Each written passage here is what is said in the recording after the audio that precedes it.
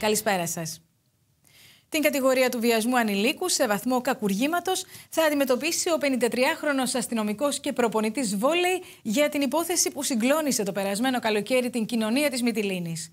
Σε βάρος του αστυνομικού είχε αρχικά απαγγελθεί η κατηγορία μόνο για ασελγής πράξη σε βάρος ανηλίκου, μετά όμως από έφεση που άσκησε η εισαγγελέα εφετών Βορείου Αιγαίου, η οποία έγινε δεκτή από το εφετείο Βορείου Αιγαίου, ο 53χρονο θα αντιμετωπίσει βαριές κατηγορίες. Αντιμέτωπος και με την κατηγορία για βιασμό ανηλίκου, θα βρεθεί τελικά ενώπιον του μεικτού ορκωτού δικαστηρίου Χίου ο 53χρονο αστυνομικός και προπονητής Βόλεϊ, ο οποίος προφυλακίστηκε τον Αύγουστο του 2022 στις φυλακές Τρίπολης για σέλγια σε βάρου ανηλίκου, σύμφωνα με το βούλευμα του Συμβουλίου Πλημελιωδικών Μυτιλίνης.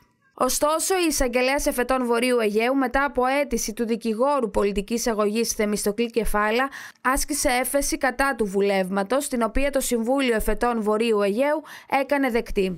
Σύμφωνα με το βούλευμα του Συμβουλίου Πλημελιωδικών, παραπέμφθηκε να δικαστεί για διάφορα δικήματα, μεταξύ των οποίων δεν συμπεριλαμβάνονταν και ο βιασμός.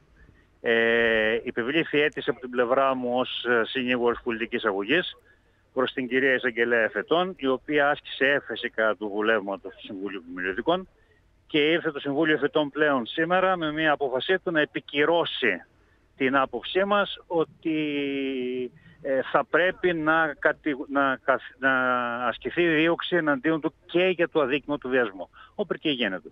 Για ποιο λόγο, ωστόσο, δεν ήταν μέσα στο κατηγορητήριο και ο βιασμός; Ανηλίκου. Το γνωρίζουν. Αυτό ήταν μια απόφαση που, που πήρε το Συμβούλιο Πλημμυριδικών, η οποία ανετράπη τώρα από το Συμβούλιο Φεδών και θα καθίσει κατηγορούμενος και για το αδίκημα του βιασμού ανηλίκου. Το, το μεικτό ορκωτό δικαστήριο στοιχείο θα ε, εξετάσει τα δεδομένα και θα αποδώσει δικαιοσύνη.